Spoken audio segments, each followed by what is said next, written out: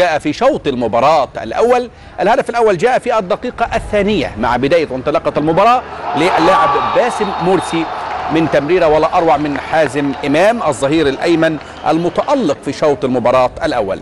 وأيضا نفس اللاعب حازم إمام المفتاح السحري للزمالك في شوط المباراة الأول يتسبب في ركلة جزاء يتصدى لها أيمن حفني ليحرز الهدف الثاني في الدقيقة السادسة والثلاثين من شوط المباراة الأول. وتنتهي النتيجة